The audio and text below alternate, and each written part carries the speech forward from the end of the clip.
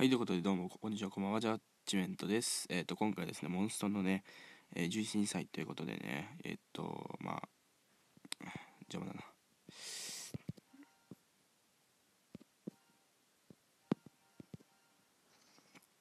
えっと、まあ、重心祭ということでね、超重心祭、えー、ってことでね、えー、まあ、20個あるんでね、4回弾きたいと思います。その前にちょっと売却しましょう。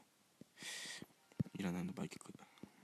よし。でまあ4回弾きます。単発でね。はい。1回目。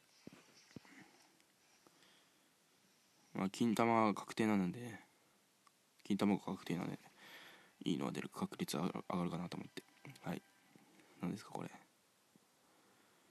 なんだこれ。なんて読むんだか分かんないけど。とりあえず星が当たりました。アンチワープついてますね。はい。ホーミングです。で2回目。いいの出てほしいけど。お。なんか良さそうな感じですけど。アテナが出ました。はい。アンチダメージホールですね。ってことで3回目いきましょう。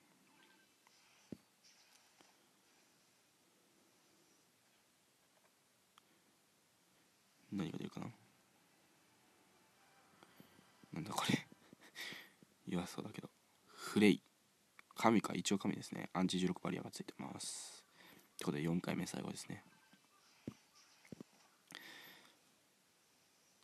何が出るか。お。わあこれは弱いやつですね。ショパンってことでね。最後はちょっと良かったですけども。まあね、まあまあいいでしょ。星5が3体出たんでね、売却じゃない。ってことでね、間違えた。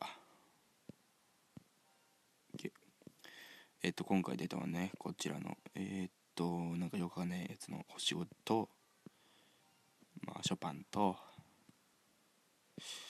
あと、フレイですね。フレイも星4だね。うん。あとアテナですね。はい。こちら紙タイプ。でこれアテナって確か強いやつじゃなかったですかね。はい。ということでね今回もご視聴ありがとうございました。また次回の動画でお会いしましょう。バイバイ。